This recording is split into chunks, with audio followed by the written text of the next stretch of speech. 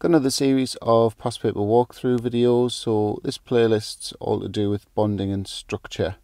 So obviously this is the first one and the sort of top tip here is just be careful with your wording. So you've got to be really careful, you know what kind of particles you're talking about. Or are you talking about atoms, ions, molecules?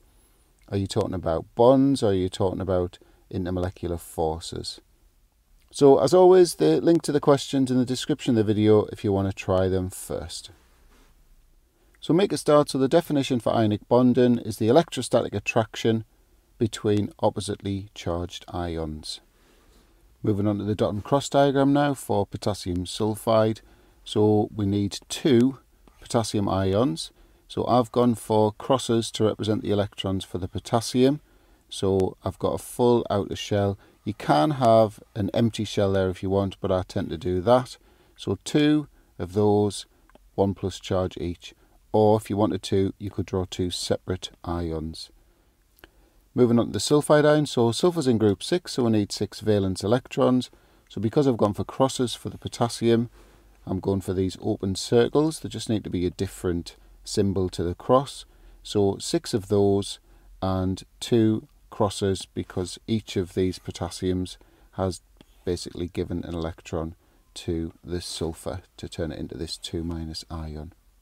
Moving on to the bonding in SF2 now, so we've got this dot and cross diagram here.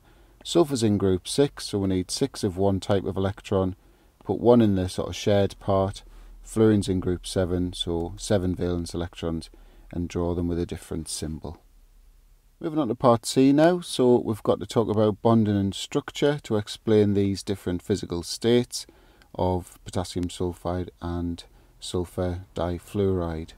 So first thing we can say is potassium sulfide has a giant ionic lattice structure. So why is it a solid? It's because a large amount of energy is needed to break the strong attractions between the oppositely charged ions.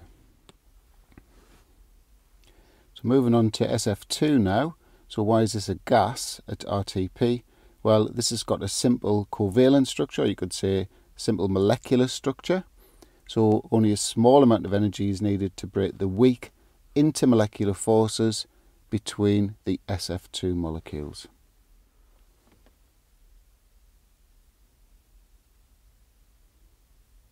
So to help with part D, I've drawn up the SF6 molecule you haven't been asked to do that, but it's obviously going to help me explain this. So what's that shape called?